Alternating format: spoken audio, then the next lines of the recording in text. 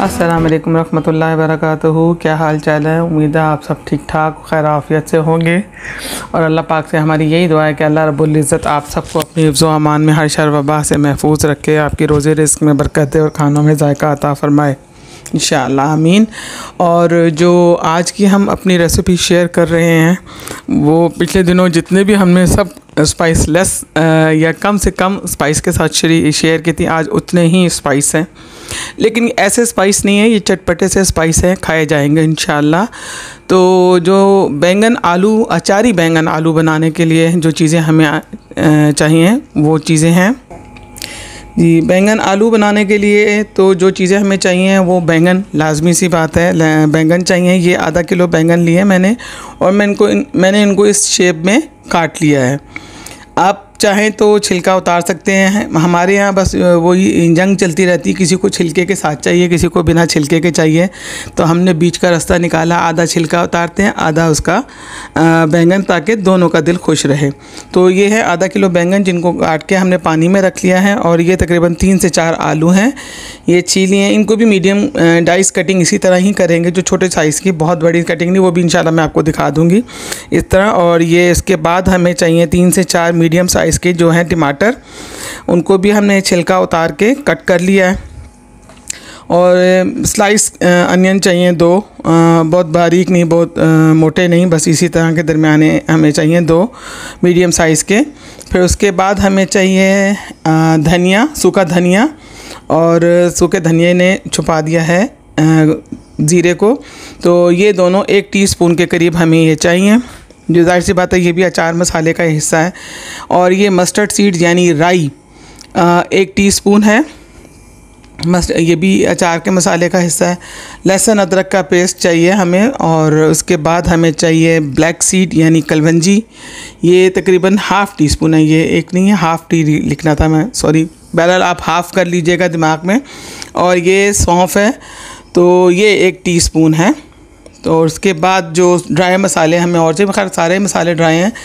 ये chilli flakes हैं। ये एक टीस्पून के करीब चाहिए। ये अपनी मर्ज़ी के हिसाब से जितना आपको स्पाइसी पसंद है। और नमक भी आपके जायके के मुताबिक ही चाहिए आपको। और ये हल्दी हाफ़ से भी कम जो टीस्पून है, वो हमें चाहिए। तो और ऑयल तो चाहिए ही चाहिए। तो ये अब ये करेंगे कि अचार के जो मसाले हैं, इनको हम दरदरा पीस लेंगे। यानी बहुत बारीक अगर आपको नहीं पसंद कि आपके मुँह में आए सीट या उसकी कोई सौंफ की या गलबंजी का कुछ भी तो आप उसको बारीक बना लें पाउडर फॉर्म में कर लें। नहीं तो अगर दरदरा करेंगे तो ज़रा खूबसूरती लगती है। यानी ये चीज़ें जो हम लोगों को इनको मिक्स करके एक पेस्ट सा बनाना है पेस्ट पाउडर में या जैसे भी वो है आपकी मर्ज़ी, लेकिन अगर कुटा हुआ कहेंगे तो कुटा हुआ ज़रा ज़्यादा अच्छा लगेगा जायके में। चलिए आगे का प्रोसीजर शुरू करते हैं।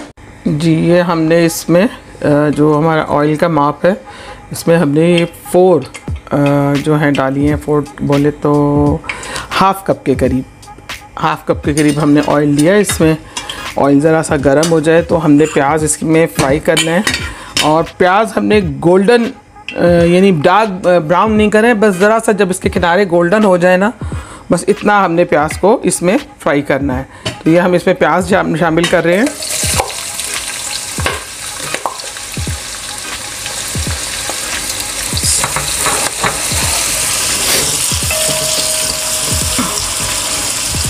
इसमें थोड़ा सा चेंज होगा। आ, इसमें आलू हम ज़रा पहले गलाएँगे और बैंगन हम बाद में यानी आलू ज़रा हाफ़ डन हो जाएँगे तो फिर हम इसमें ये मसाला डालेंगे। या खैर आप साथ भी डाल दें तो इतना कोई इशू नहीं है। ये क्योंकि बैंगन थोड़े से हम लोगों को खड़े चाहिए, बहुत ज़्यादा घुले घुले नहीं, गले हुए, गले और घुले में थोड़ा सा फ़र्क है तो बस ये कि थोड़ा घुला हुआ बैंगन ना हो उसमें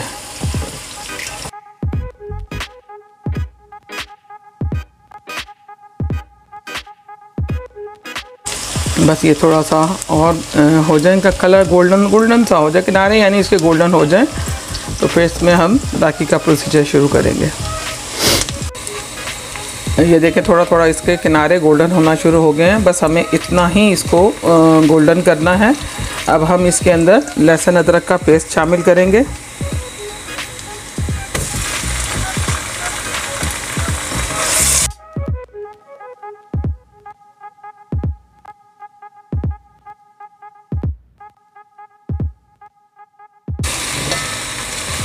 फिर ये इसमें हम शामिल करेंगे टमाटर।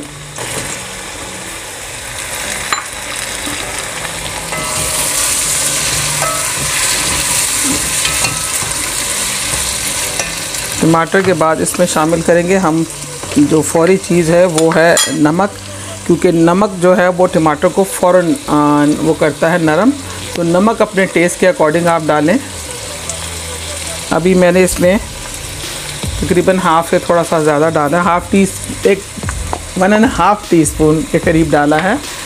और इसको ज़रा सा हम टमाटर को नरम होने देंगे। नरम हो जाएगा। फिर हम इसमें शामिल करेंगे आलू। ये टमाटर काफ़ी हद तक नरम हो गए हैं। अब जो हमने आलू क्यूब की शक्ल में काटे हैं, वो आलू हम इसके अंदर शामिल करेंगे। ये देखें, ये आलू हम लोगों ने बहुत ज़्यादा नहीं, बस इतने साइज़ के काटे हैं, ये भी जल्दी गल जाने वाले हैं। तो ये आलू हम इसमें शामिल कर रहे हैं।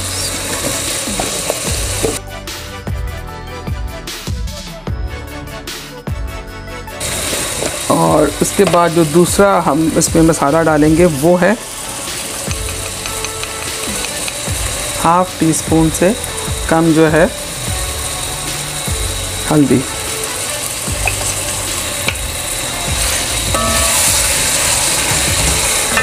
इसका ज़्यादा मज़ा जो है सरसों के तेल में है। सरसों का तेल, लेकिन सरसों का तेल जलाना और उसका वो करना, यानी अगर नहीं कर सके तो फिर वो ज़रा मज़ेदारी ख़राब हो जाती है हमसे। लेकिन ये कि इसका ज़्यादा मज़ा जो है, अगर आप जो पसंद करते हैं जिन घरों में सरसों का तेल तो सरसों का तेल में अगर बनाएँगे तो बहुत ज़बरदस्त है। और सरसों के तेल को जला के, यानी उसके अंदर एक लहसुन डाल लें, साबत लहसुन छील के डाल दें, खूब अच्छी तरह से जल जाए तो फिर आप, यानी इसको उसमें फिर ये हांडी या सालन बना सकते हैं। अब आल, आलू इसमें हमने डाल दिया और हल्दी इसमें डाल दी है। थोड़ा सा पानी डाल के आलू के गलने तक बनाएँगे। फिर इन इसमें बैंगन और वो मसाला जो हमने पीस के रख लिया है पाउडर फॉर्म में, दरदरा फॉर्म में। पाउडर फॉर्म तो नहीं है, ये देखें, ये दरदरा सा बना लिया हमने इसको। तो ये हम इसमें फिर शामिल करेंगे। तो अभी थोड़ा सा इसमें हम पानी शामिल करते हैं। जी इसमें आलू काफ़ी हद तक जितना हमें चाहिए था, यानी गलने के लिए, वो गल चुके हैं। जी। अब बाकी बैंगन के साथ उनकी सेटिंग हो जाएगी। उनके बैंगन भी गलाने हैं। तो अब हम इसमें डालेंगे बैंगन।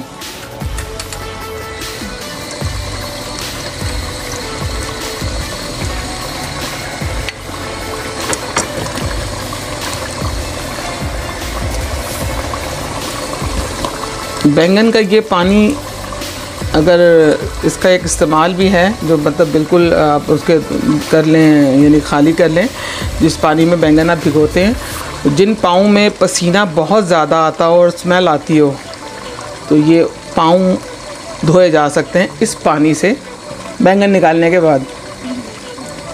तो उससे भी बहुत स्मेल में भी और पसीने में बहुत फ़र्क रहता है। ये आजमूदा है। क्योंकि हमारे घर में भी कुछ थे ऐसे, जिनके जूतों में मरे हुए चूहे रहते थे। फिर ये हमने टोटका आजमाया तो काफ़ी अफाका है। जी, ये बैंगन इसमें हमने शामिल कर दिए। अब जो ये मसाला है, ये आप तकरीबन मैं इसमें दो के करीब भर के ये चम्मच डालूँगी। मैं मैं एक और डाल लेती हूँ। तो आप अपने हिसाब से जो मिर्ची या जैसा भी मसाला आपको पसंद हो आप उस हिसाब से बना सकते हैं।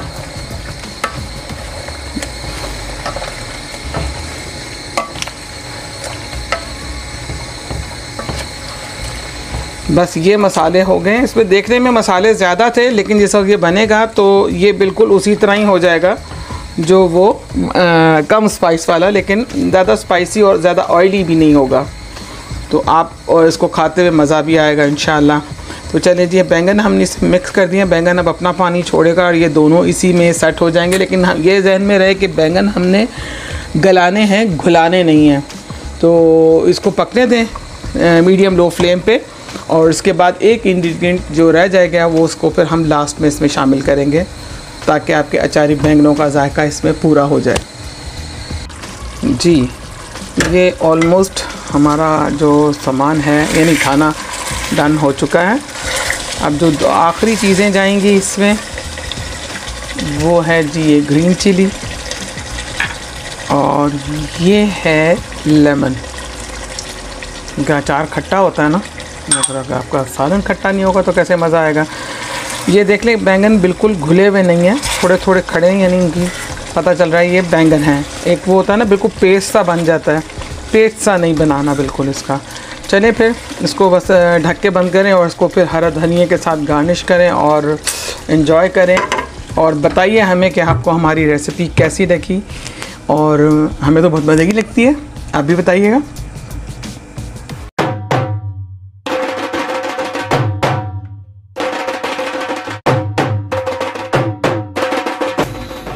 जी, ये है हमारी अचारी बैंगन की और बैंगन आलू की रेसिपी उम्मीद है आपको पसंद आएगी। साथ सलाद है इंजॉय कीजिए और हमें ज़रूर बताइए कि आपको हमारी रेसिपी कैसी लगी। लाइक शेयर और कमेंट के ज़रिए। नेक्स्ट रेसिपी तक अल्लाह हाफिज़। इन फिर मुलाकात होगी। अलैक्म वाह, मज़ा आ गया।